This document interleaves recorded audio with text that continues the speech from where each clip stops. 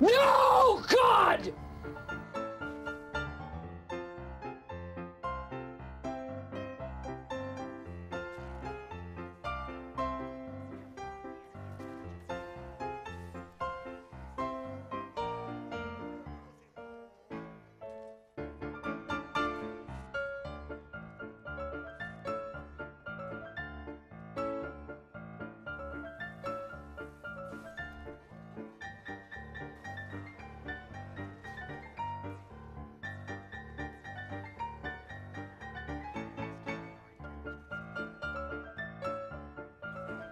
In their tongue, he is Dovahkiin, Dragonborn.